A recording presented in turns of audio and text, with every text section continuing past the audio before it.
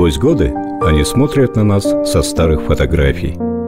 Те, кто составил славу и гордость Осетии, кто, уйдя в вечность, остался в сердце народа, благодарной памяти, неподвластной зыбкому времени –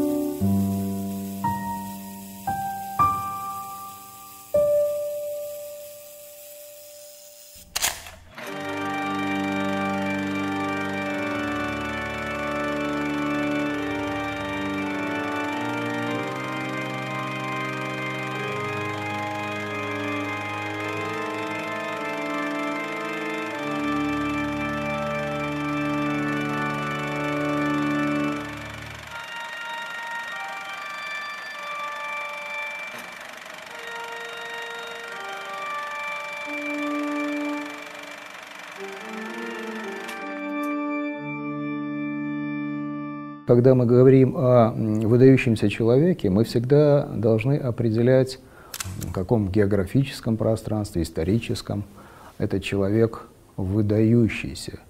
Часто бывает так, что выдающимся человеком мы называем некого как бы местечкового, значимого человека. И, а, и это тоже, наверное, здорово и хорошо. А, мы радуемся, а, что человек смог что-то сделать. Махарбек Туганов – выдающийся человек для осетинской культуры. Смысл этого заключен в том, что Махарбек Туганов соответствовал своему времени. Что значит соответствовать своему времени? В первую очередь это быть современником самых главных, самых э, важных событий этого времени. Э, Махарбек Туганов – единственный человек в 20 веке в осетинском изобразительном искусстве, который соответствовал своему времени. А, ни его современники, ни художники после него не соответствовали этому времени. Они соответствовали а, ситуации в этой стране, а, идеологическим канонам в искусстве в этой стране, но не времени. Они не соответствовали художникам Франции, художникам Германии, Америки, Англии. То есть они не соответствовали мировым тенденциям а, изобразительного искусства в 20 веке. Махарбек Туганов соответствовал. Вот это очень сложно понять э, без а, а, дополнительного образовательного как бы, ряда, без понимания всех происходивших в 20 веке событий в искусстве – но вот именно Махарбек Туганов соответствовал этому. Когда мы говорим о выдающихся осетинах, которые как бы соответствовали своему времени, Такати, там, Абаев, э, Гергиев, но это люди, которые находились за пределами Осетии. Ну, Абаев писал много связанное с Осетией, но вот а, другие выдающиеся люди, они находились в других пространствах. Махарбек Туганов соответствовал своему времени, мировой а, художественной культуре, находясь в Осетии. Туганов как художник сформировался на сломе двух эпох. И это, конечно, отразилось э, в его картинах, в его рисунках, в его графических произведениях. Очень важное значение имеет, конечно, где учился, у кого учился и в какое время. Как-то, в общем, считается, что Репин, у которого он в мастерской пробыл всего два года, ну, вот такая вот фигура, может быть, и не очень важное формирование, куда важнее формирование Туганова, куда важнее Мюнхен с, с, этой знаменитой школой, школой Антона Ашбе, вот. Ну, в общем-то, это не совсем верно, поскольку, поскольку Репин, у которого учился Туганов, это был уже не Репин, который создал картину «Бурлаки на Волге». Это был художник, который очень хорошо знал э, западноевропейское искусство, который сам очень сильно изменился. И э, последние работы Репина только недавно стали выставляться, только недавно стали известны. Вот это ну, живопись, конечно, которая могла повлиять на Туганова, вот в сторону его сдвига в пользу интереса современным искусством, в пользу его поисков современного языка в живописи, в графике. Для меня он интересен и важен как личность, прежде всего как художник, педагог, новатор, человек, который принес в Осетию прежде всего другой взгляд на искусство, на изобразительное искусство. Первое десятилетие XX века Махарбек Туганов использует художественную практику, полученную им в Мюнхене.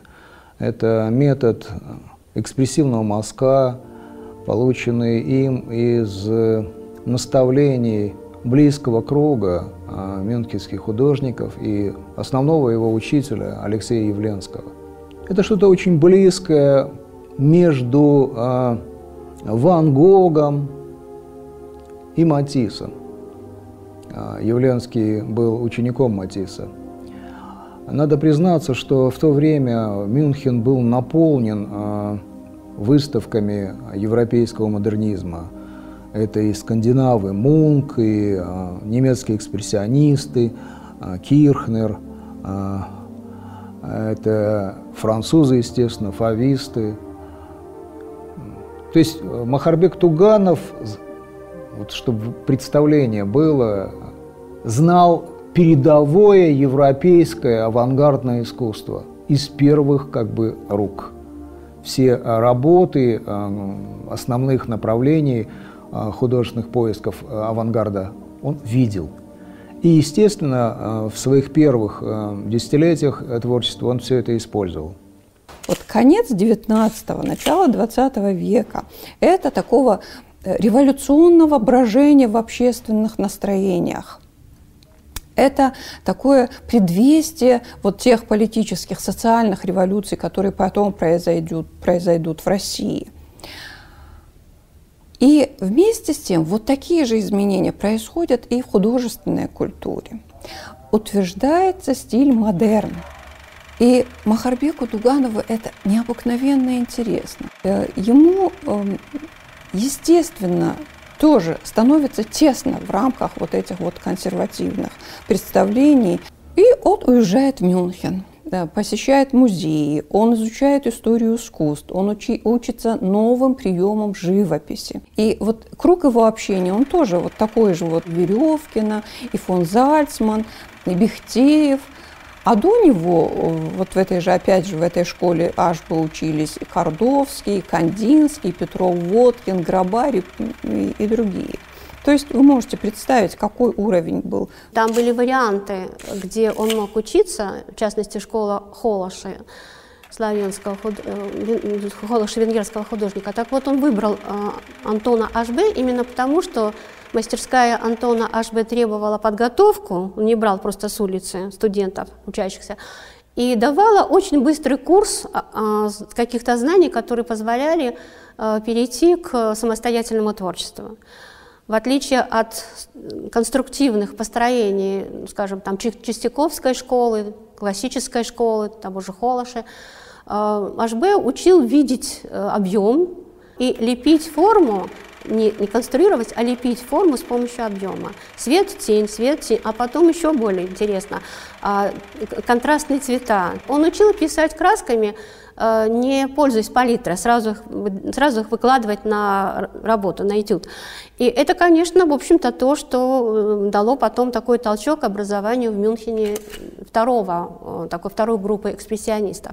Меня всегда поражала вот эта а, а, странная вещь.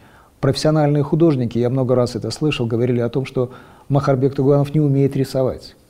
Он плохой рисовальщик. Махарбек Туганов блестящий рисовальщик, потому что рисунок – это не копия а, стоящей перед вами натуры. Рисунок – это сложная система линий, которая так убеждает вас, даже деформируя форму, что эта форма на листе начинает жить, она наполняется энергией. Если вы возьмете совершенно маленькие, небольшого размера этнографические работы Бахарбека Тугана, вы увидите, насколько энергетичные персонажи нарисованные там. Одной линией, несколькими штрихами, и они живы, они уже пульсируют. Он был великим рисовальщиком. Он прошел блестящую школу в Мюнхене, в школе Антона Ашба. На то время это был центр такой куда слетались наверное, со всего мира, и в частности с Европы, такие самые передовые личности, художники, которые формировали на то время такой вот как бы тонус творческий, где формировали какие-то направления в искусстве. Туганов в девятом году, когда возникла группа «Синий всадник», уже был на родине, и если он выезжал за границу, то только какими-то урывками. Правда, он вел переписку с Марианой Веревкиной и был дружен с Явленским. Вот, в какой-то степени, конечно, на него оказало влияние вот это направление, направление экспрессионизма, но в той вот э, форме, которая характерна именно для Мюнхена. Но наступает время, когда э, идеология в стране приводит к одному единственному э, взгляду на изобразительность, на визуальность. И вот этот метод э, социалистического реализма, который утвердился в начале 30-х годов, так или иначе сводит на нет все поиски художников-новаторов – и вот тут начинается самый важный парадокс. Как можно жить художнику-модернисту, а, который воспринял основные а, ценности и смыслы авангарда XX века, а в начале XX века, который в себе вос, э, значит, воспитал, э, эм, вскормил новые представления о том, каким должно быть современное национальное искусство, осетинское искусство. И живет он в не, небольшом, маленьком, довольно провинциальном городке, э, среди народов, который только-только начинает входить вообще в европейскую культурную традицию – только начинает понимать вообще, а что такое изобразительное искусство, а тут еще и модернизм. И вот тут начинается самое интересное а, в истории Махарбека Туганова, в которой человеку нужно выбирать, а он живой человек. У него есть своя маленькая семья, ему нужно выжить в этих новых условиях. Он не может на, а, делать то, что является с его точки зрения правильным в художественном смысле. А, таких героев мы знаем. Многие а, поэты, а, режиссеры и художники пострадали из-за того, что не изменили своей художественной практики. Махарбек Туганов не изменил своей художественной практики. Надо признаться, что поиски художников-новаторов основывались на народном творчестве. Они использовали э, ранние работы архаики, народного наива и так далее, и так далее. Что очень близко было Махарбеку Туганову. И вот тут он э, находит такой симбиоз, потрясающее, любопытное соединение э, народного наивного и э, модернистического, новационного. Надо признаться, что это не новация. А Махарбека Туганова мировое искусство знает огромное количество а, модернистов, работавших в таком направлении. Это направление называлось неопримитивизм. А, вот мы знаем знаменитых мексиканских художников Ороско, Ривера, Э, Сикейроса, которые работали в этом направлении. Беда заключается в том, что э, Махарбека Туганова окружали наивные, простодушные зрители. А профессиональных людей, среды, которая ему нужна была, во Владикавказе не было. Но соединяя вот это наивное, народное, чуть э, простоватое такое и э, в то же время экспрессивное, а Махарбек Туганов, как ни странно, нашел золотую середину. Он попал в точку. Его искусство стало понятным широким массам. И вот этот странный э, и в то же время глубоко проработанный метод э, новации и наива создает у Махарбека Туганова совершенно уникальное а, для, во всяком случае, астинского искусства явление. Явление, в котором простой человек видит и понимает, что он делает. И в то же время а, человек посвященный, такой как я, допустим, тоже понимает, что он новационен. Он нашел золотую середину. Туганов в 1939 году перебирается в Южную Осетию. Ему пришлось спешно покидать Северную Осетию, постольку, поскольку его должны были арестовать. Было собрано дело на него, как на аристократа, как на потомка там, дворянского рода, это, а, тем более, что его родственники, они были в эмиграции. И в Южной Осетии, вот э, годы, проведенные в Южной Осетии, они оказались для него необыкновенно благоприятными. Это было, наверное, самое счастливое время в его творческой биографии, потому что там его приняли с восторгом, он оказался востребованным, он чем только там не занимался. Потеряла Северная Осетия вот такого э, человека, яркую, неординарную личность? Я думаю, что да. Но при этом Южная Осетия получила бесценный дар – вот это вот безусловно, это признают абсолютно все. В 1934 году он создает художественную студию, а в 1937 году художественное э, училище открывается. Именно благодаря Махарбеку Туганову. Вот такие художественные училища, они во время войны в большинстве своем были закрыты, а в Цхинвале работало это училище. Это первое художественное училище вообще в Осетии и студии, которую он открыл. Создать определенную школу и здесь, и в Цхинвале. То есть вот это, поверьте, вот то, что сейчас рождается много художников, что там есть сейчас и э, много студий, и столько поколений вы, вы вышли из Южной Осетии художников, я считаю, это прямой результат его деятельности. Это однозначно. Этот период как будто развязал руки художнику, и появились картины, которые, наверное, никогда не смогли бы появиться в Северной Осетии. Это изображение Чермена, вот яркое такое, очень динамичное, поставлено на совершенно ярких таких локальных цветах, это, конечно, вот как бы воспоминание именно экспрессионизма, обращение к экспрессионизму. Так как он нарисован, так как он написан, это, конечно, ну, для этого времени было абсолютно неожиданно, абсолютно ново. А и еще самая замечательная работа, самый замечательный портрет, который мы храним, это, конечно, э, портрет старика Гаглоева. Старик Гаглоев написан мелкими мазками, очень такими тоже импульсивными, и лицо написано пластически так, как это, в общем-то, сделал бы художник-представитель именно экспрессионизма. Интересно, что невеста, которая, вот, к сожалению, не попала в музей, а, она а, одна из, один из немногих случаев, когда художник своей героине делает женщину.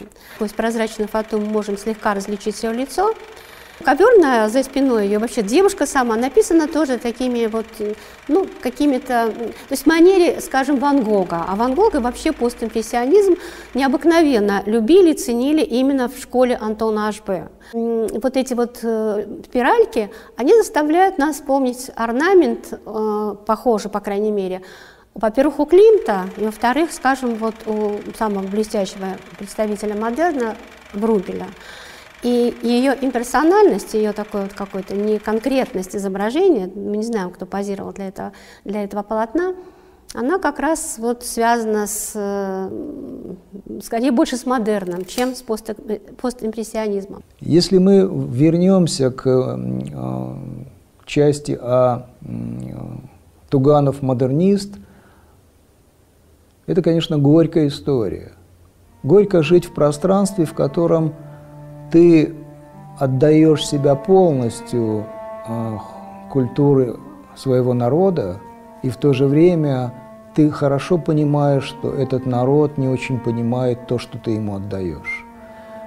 Горько э, жить в пространстве, в котором ты отдаешь часть, но не целое. Ты отдаешь только то, что ну, вот как бы могут взять а, из твоего огромного опыта и знания а, ближайшее окружение. Работы, которые я назвала, э, Махарбека Туганова, они неудивительно, что хранились именно в его доме, именно у него. То есть они не были проданы, они не были, не были никуда сданы, не, то есть никто их не приобрел. А, они возникли действительно несколько как бы преждевременно или поперек эпохи.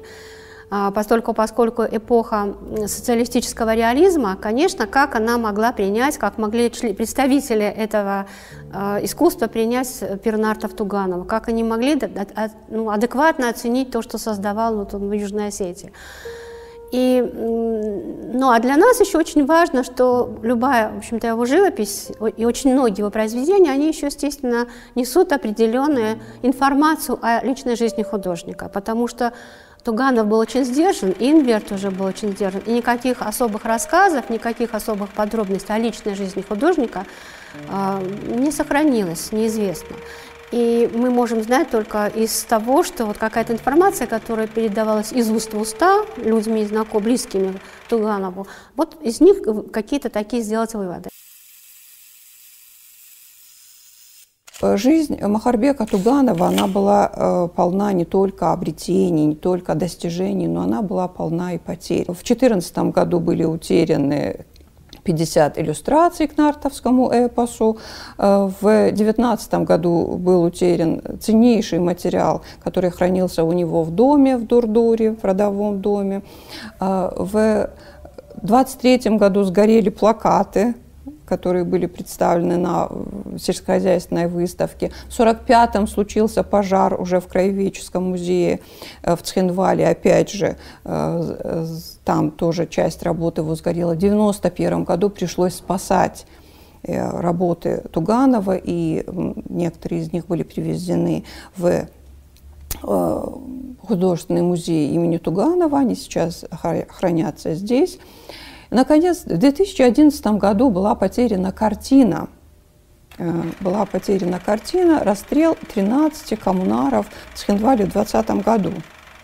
Почему это такое могло произойти? То ли потому, что э, э, это был какой-то недосмотр или халатность музейных работников, то ли потому, что нет осознания ценности творений э, большого мастера. В 2014 году Туганов отправил Вену работы свои для того, чтобы издать альбом. Это были первый цикл, это был первый цикл иллюстраций к нартовскому эпосу.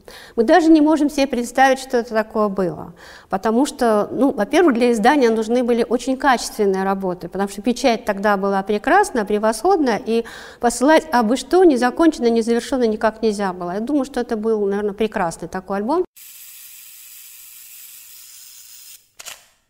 Конечно, это тяжело э, э, тех временах выживания а, было создать что-то либо что-либо значительное. От Махарбека Стуганова осталось очень мало работ.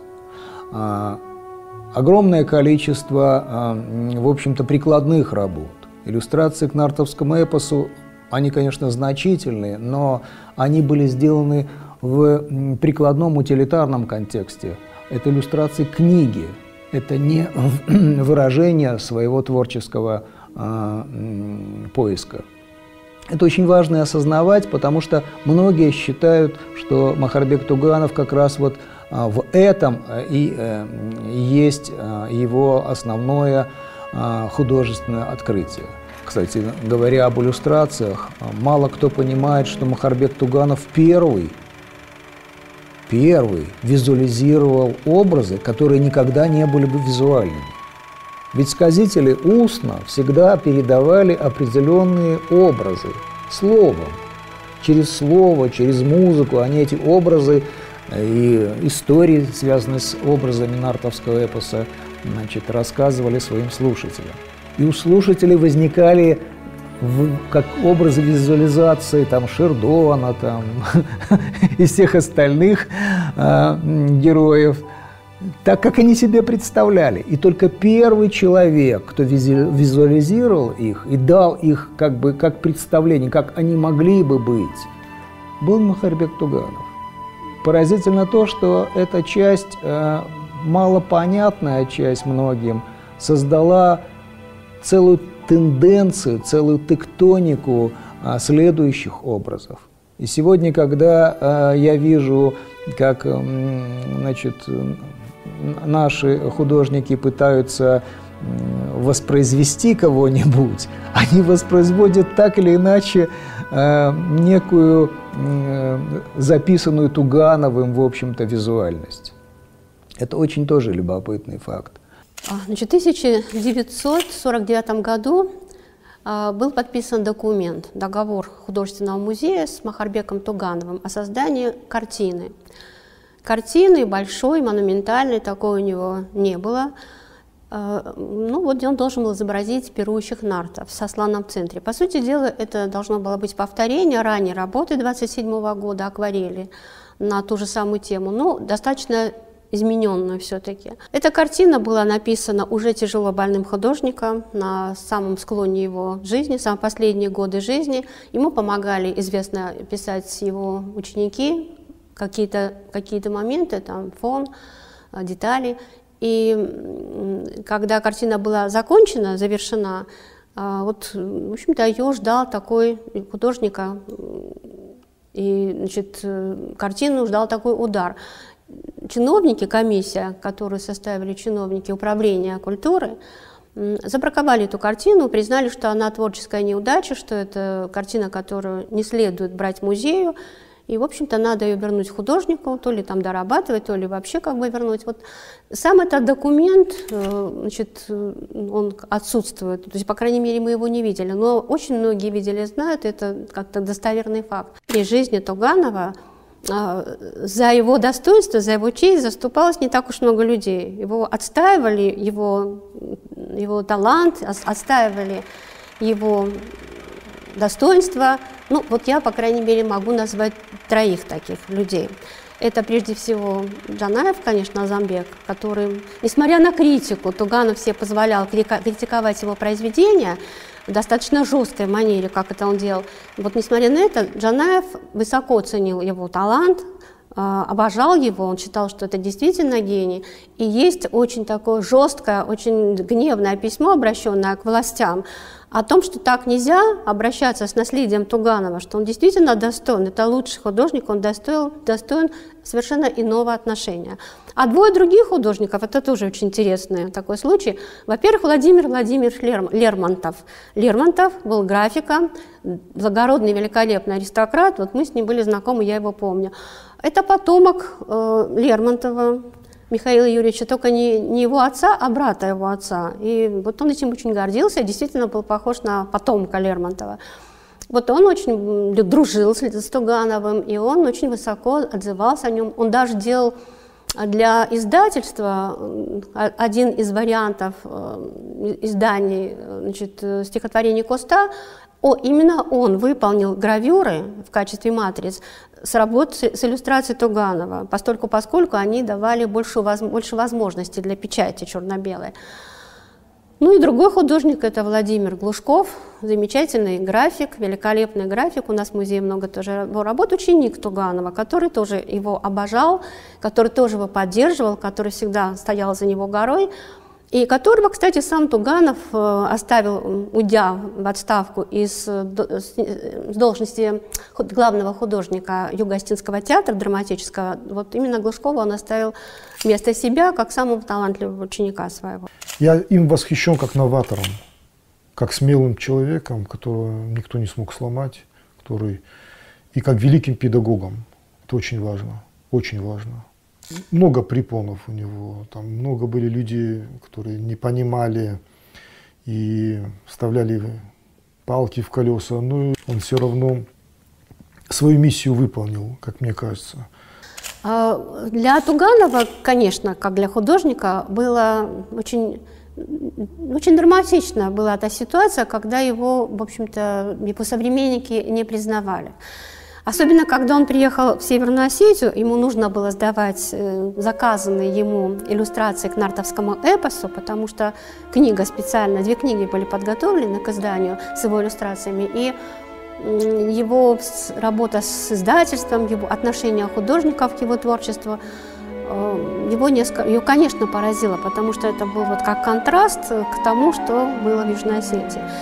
И вот такая трагическая какая-то изолированность, такая драматическая для художника изолированность, она, мне кажется, нашла отражение э, в одной из самых интересных работ последней серии нартовского эпоса, э, где изображен Сурдон. Самый трагический момент его жизни выбран. Это когда он вернулся в свой дом тайный и увидел, э, что семья его погибла. И когда он из руки жены сделал 12-струнную лиру. А он, значит, с этой лирой вернулся на Нехас, чтобы вот э, трагическая песня, песня поминания, песни поминанием, все-таки найти какое-то примирение с родом нартов, который его не признавал.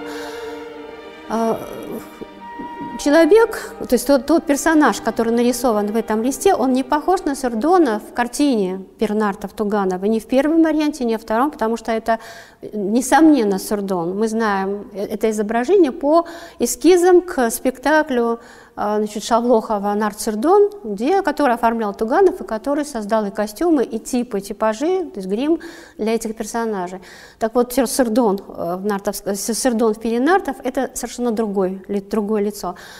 А, значит, в листе же графическом Сардон, сидящий над э, погибшим, над погибшей семьей, держащий в руках вот эту самую значит, кость, кости руки – это портрет, автопортрет самого Махарбека Туганова. Именно таким он был в этот период. Единственное, что там добавлена борода, конечно, вот несколько изменен. И мне кажется, что как раз в этой композиции он себя не случайно сопоставляет с Эрдоном. Он видит свое такое же одинокое существование как художника вот в мире своих соотечественников, в мире своих коллег.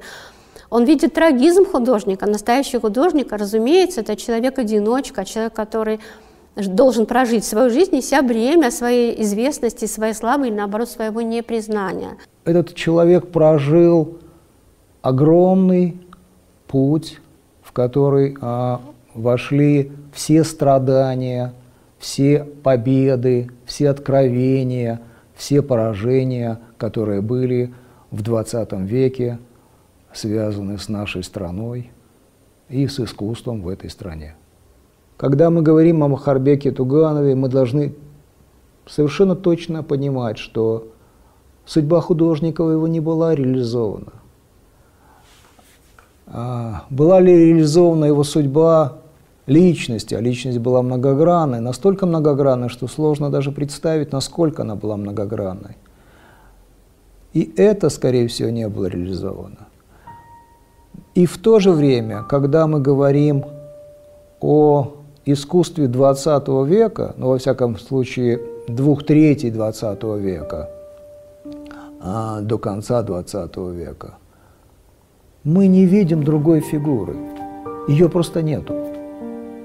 Нету другого художника, которого могли бы хоть как-то приблизить к образу, к вот этой многогранности, к сложности и к а, причастности к мировому художественному процессу. Есть только один человек – Махарбек Туганов. Другого осетин нету. Вот это правда. Это надо осознавать.